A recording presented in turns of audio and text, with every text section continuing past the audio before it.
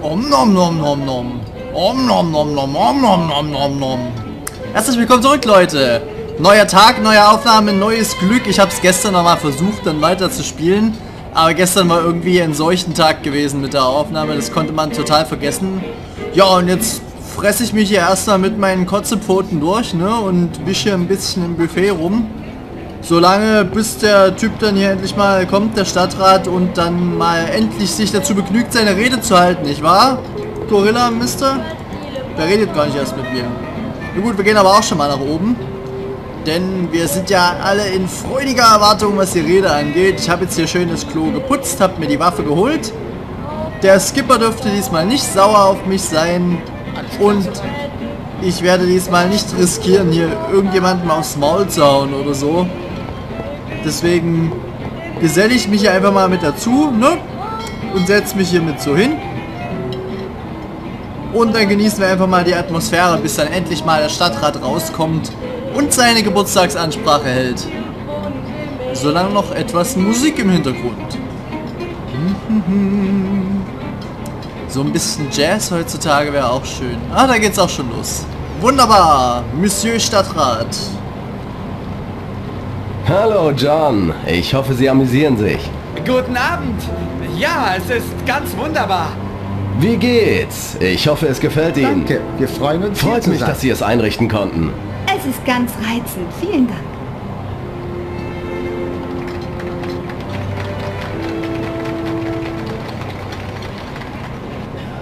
Ich glaube, es wird Zeit. Und damit geht's los mit der großen Rede. Und diesmal werden wir, lasst mich mal durch hier, ich habe da was zu erledigen. Diesmal will ich diese verfluchte Aufgabe endlich beenden hier. meinem 40. so viel erreichen würde. Sein 40. Ernsthaft? Ich hätte ihn auf, auf mehr Jahre geschätzt. Na gut, wir lassen ihn jetzt nicht großartig quatschen. Ja, der ehrlichste, ehrliche Mann, genau, mit der Mafia zusammen, ne? Gut, stirb, mein Freund! Uahahaha. Uahahaha. Schnell fort von hier, ganz schnell. Lass mich mal durch, lass mich mal durch. Lass mich durch. Ich will da nur durch. Mann, scheiße. Ist ja nicht euer Ernst. Gut, dann gehen wir hier hinten lang, das geht auch. Ich muss weg von hier, ich hab's eilig. Hey Skipper, wie geht's? Von den Damen sehen traurig aus. Die bräuchten einen Kerl wie Na klar, stürzt sich auf die Damen. Ab geht's. Ja, wir haben aber Besseres zu tun, als jetzt hier mit dem Skipper zu quatschen.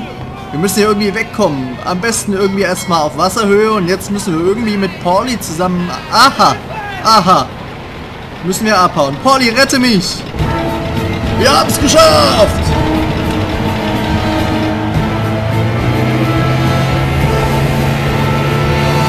Epische Musik! Neue Freifahrtoptionen wurden freigeschaltet. Wunderfein. Und der Crusader wurde jetzt auch freigeschaltet. Und damit ist diese Mission endlich vorbei, diese verfluchte Kackmission. Also eigentlich ist sie ja nicht weiter schlimm, aber ihr glaubt gar nicht, wie viele Anläufe ich jetzt schon durch habe. Teilweise, weil ich irgendeine Scheiße gebaut habe und teilweise, weil die Aufnahmequalität einfach so unglaublich rotzig war, dass sie nicht mal bei mir durchgekommen ist. Gut, und jetzt weiter zur nächsten Mission. Verdammter Glückspilz. So sieht's aus. Ab geht er, Peter. Yeah. Yeah. Yeah. Tom hat es geschafft. Jetzt haben sämtliche Politiker in der Stadt Angst. Niemand will wie der Stadtrat enden. Gute Arbeit, Tom. Aber das war noch nicht alles. Jetzt wollen wir Morellos rechte Hand, seinen Bruder Sergio Morello Jr. Er kontrolliert die Gewerkschaften in der Stadt. Sein bestes Pferd ist die Hafenarbeitergewerkschaft, dank derer er praktisch alle Importe in die Stadt kontrolliert. Töten wir ihn, fällt ein großer Teil von Morellos Einkünften weg.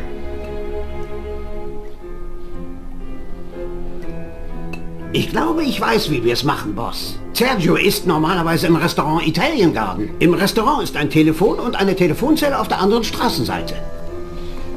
Du gehst der Telefonzelle, rufst im Restaurant an und sagst, dass du Sergio sprechen möchtest. Ich stehe dann mit einer Thompson vor dem Restaurant. Und wenn Sergio zum Telefon geht, puste ich ihn um. Dann müssen wir nur wieder zum Auto und schnell verschwinden. Na, was meinst du? Super Plan. Ja, Schätze, mit dem Telefon komme ich klar. Na dann los, Jungs. Vincenzo versorgt euch mit Waffen.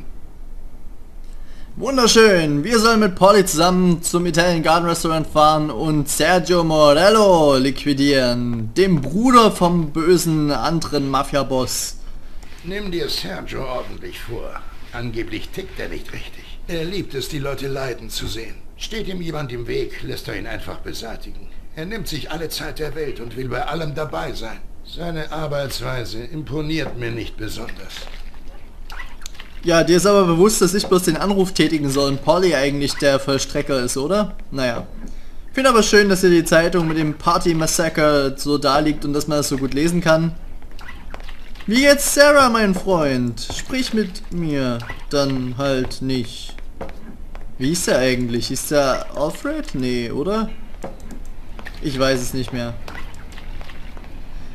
Ja gut, dann machen wir uns mal auf den Weg. Auf zur nächsten Liquidierungsmission. Oh, Ralphie hat einen schicken Wagen für uns. Aber ich gehe erst mal hier zu Vincenzo. Weil Pauli dort auch sein wird, so wie es aussieht. Gehen wir einfach mal hin. Mal sehen. Vincenzo! Äh, Vincenzo? Ach da. Hey. Peace. Vincenzo, ich brauche eine Thompson. Und irgendwas für Tom hier. Okay.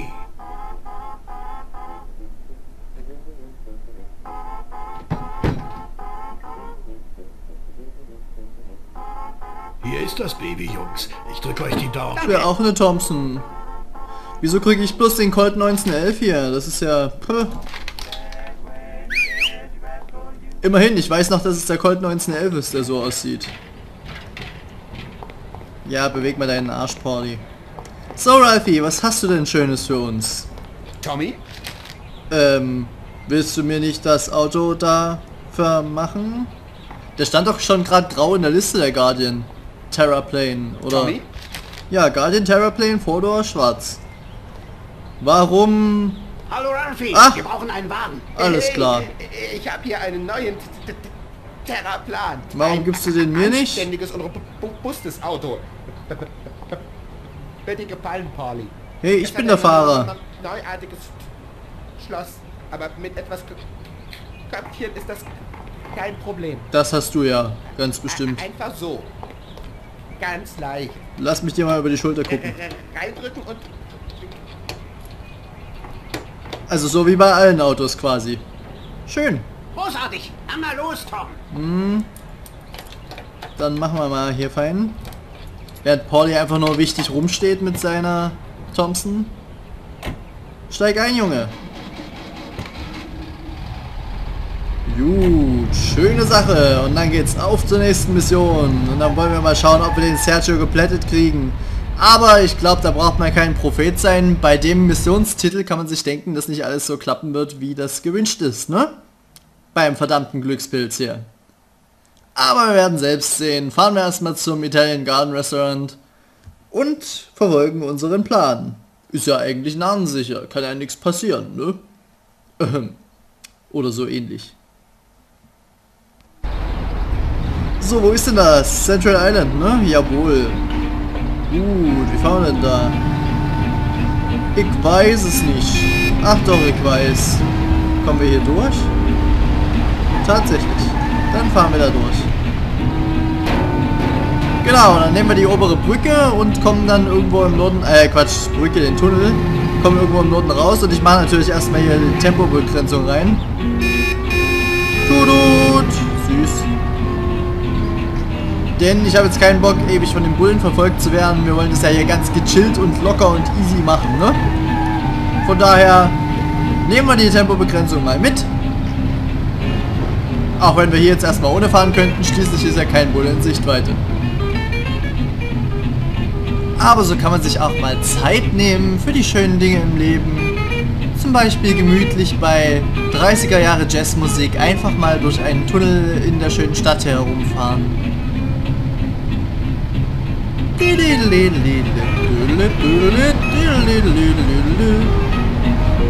Gut, das wollte ich nicht mehr machen, ich wollte nicht mehr singen.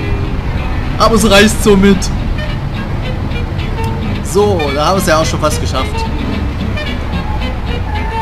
Apropos Zeit für die wichtigen Dinge nehmen im Leben. Das macht man irgendwie viel zu selten. Ne? Man hetzt so von einem Termin zum anderen oft. Also in, in der Schulzeit vielleicht nicht so. Aber später, da hetzt man auch von einem Termin zum da, anderen. Ja, lass mich doch mal hier ausreden. Und vergisst dann sich mal Zeit für sich selbst zu nehmen. Das sollte man vielleicht mal etwas oft, öfter tun. Und da finde ich auch die buddhistischen äh, Leitsätze ganz wichtig, dass man einfach mal sich Ruhe, äh, ein bisschen eine Auszeit nehmen sollte, in sich gekehrt sein sollte. Da. Ja, mach ich doch. Geht ja schon los, Mensch.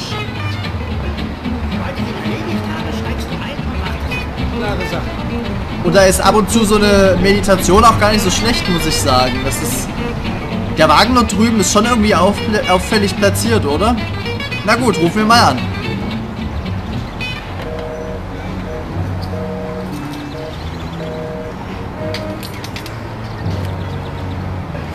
Das Todeskommando. Da, da, da, dum.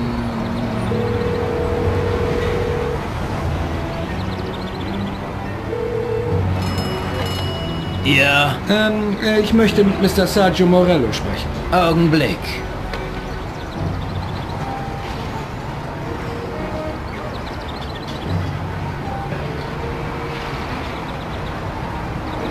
Jetzt bist du dran, Sergio. Kumpel, Mr. Morello ist heute nicht hier. Teufel! Polly! Das ist der Falsche! Polly, Ah, los jetzt! Morello Polly. ist nicht hier! Du Troll! Womit habe ich dich verdient? Womit habe ich dich verdient, Pauli? Alles muss Der man Typ, das selber machen. Sergio. Sergio war heute Fährst du mal los? Sitzen wir in der Scheiße. Wir müssen zurück zu Salieri. Ja gut, dann machen wir uns mal auf zu Salieri, ne? Oder erstmal schütteln wir die ab, besser gesagt. Jetzt kann die Tempobegrenzung raus, denke ich mal. Ähm, hallo? Geht's noch? Ja, lass doch die mal fahren. Den Polizisten scheint es auch gar nicht zu interessieren, dass hier Feuergefecht ist, ne? Wie sieht's denn aus? Ach, schade. Mann, dieser Kerl. Ich kann mich nicht aufs Schießen und aufs Fahren gleichzeitig konzentrieren irgendwie. Ich habe auch bloß noch einen Schuss, sehe ich gerade. Das ist ja ganz großes Kino hier. Ja gut, dann fahren wir einfach mal. Bringt ja nichts hier.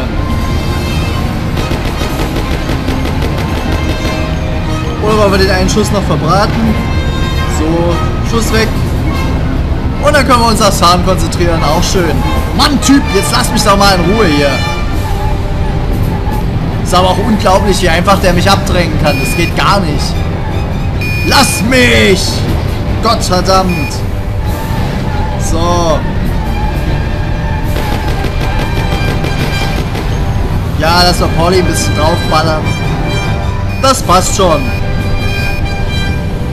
So. Oh! Herr Polizist, ja, ich habe gerade andere andere Probleme als die Polizisten, muss ich mal so zugeben.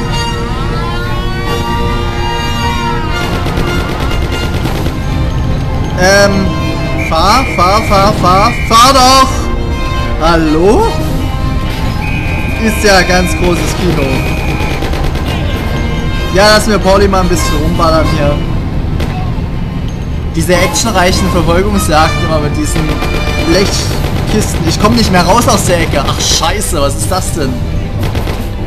Ich häng fest. Jetzt, jetzt geht's wieder. So, wo auch immer unsere Verfolger sind, wir fahren einfach mal. Das wird schon klappen. Das wird schon gut gehen. Immerhin sind wir ja erstmal alle los. Oh, scheiße. Ich glaube, es ist die Polizei unser größeres Problem. Aber vielleicht mag Polly sich ja mal darum kümmern. Das wäre sehr schön. Deswegen fahre ich jetzt auch mal nicht auf die Straße, sondern bleib mal hier oben. In der Hoffnung, dass Pauli gleich mal seine Thompson zückt und dann mal sich der Sache annimmt. So. Pauli? Pauli? Pauli? Schieß doch mal. Ach Mensch. Du bist doch ein alter Trollkopf, ey. Ja, wir fahren hier mal so ein bisschen Kreis, ne? Das geht schon. Das passt schon. So, oh shit, ich glaube, das ist da unten. Ah, ne, das ist ein Polizist, okay. Also die Leute von Morelos scheinen mir jetzt losgeworden zu sein. Das Problem scheinen wir jetzt nicht mehr zu haben. Aber die Polizisten haben wir immer noch am Hals. Junge, schieß doch mal. Ist das denn so kompliziert? Ah. Holly ist ein dummer Vollpfosten. Nee, da ich nicht hin. Nee. Ich schieß, äh, schieß nicht. Scheiße. Ich habe keine Munition gekriegt. Das ist doch blöd, sowas. Na gut, dann müssen wir uns eine richtige Verfolgungsjagd liefern. Nützt ja nichts. Lalala. Hol mich doch. Irgendwie bin ich ziemlich langsam.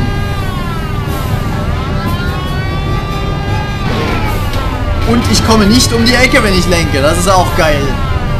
Das ist ganz großes Kino. Weg da. Ach nö. Ach nö. Deswegen wollte ich nicht in den Verkehr raus. Zack.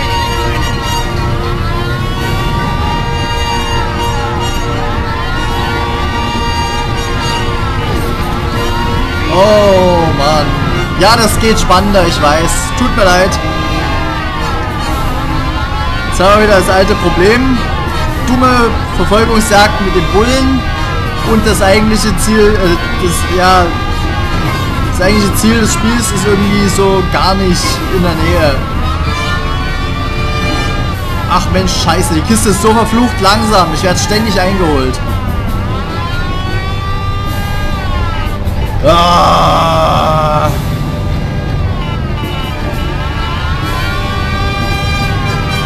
Ich hasse die Welt. Ich will ein schnelleres Auto haben. Das kann man auch keinem anbieten hier. Das ist doch nervig, sowas. Hallo, mach dich aus meiner Seite raus.